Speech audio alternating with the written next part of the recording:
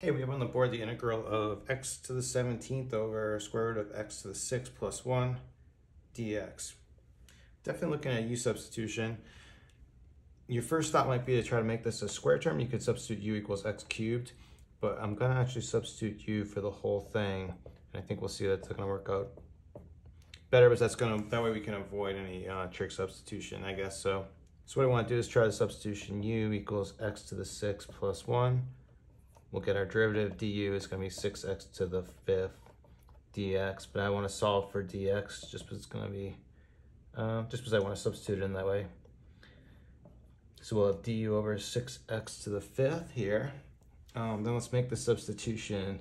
So we're going to have, for now, we'll leave our x to the 17th there, and we'll have a square root of u in the denominator. For our dx, we'll just pop this in 6x to the fifth. I'm going to cancel this x to the fifth out with this, and we're gonna have an x to the 12th. Next, what I wanna do is take this six out front as a 1 sixth, and we just need to deal with this x to the 12th. Now we can get from this, we can get an expression for x to the 6. So we can find that x to the 6 is u minus 1. So then if we square both sides, then x to the 12th is just u squared minus 2u plus one, and we'll use that, and we'll rewrite this. And this is looking pretty good. So what we can do is we can break this into three separate terms, just dividing our square to u into each of these. So we're gonna have 1 6 integral of u to the 3 halves minus 2u 1 half. I'm doing, I'm writing it out this way so we can use the power rule when we integrate this. Okay, so we can do that now. So we're just gonna have integral of um, U3 halves, we're just gonna have U5 halves, 2 fifths, minus 2 um, U3 halves, but then we need to multiply by 2 thirds. We'll clean this up in a second. And then we're gonna have here uh, plus 2 U1 half. Then what I'm gonna do is I'm gonna factor out a square root of U from this, and I'm also gonna distribute in this 1 6.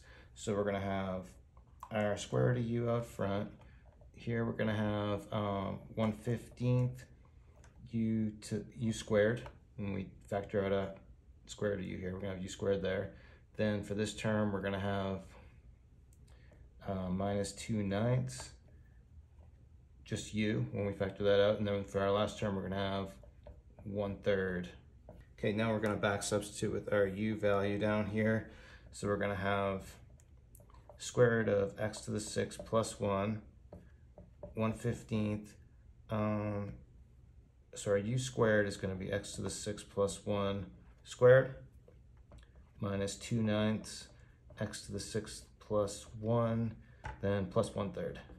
We could actually just leave our answer in this form, but I think I'd like to clean it up a little bit just by, um, we're going to have some like terms. So let's clean up this bit right here and we'll do it real quick.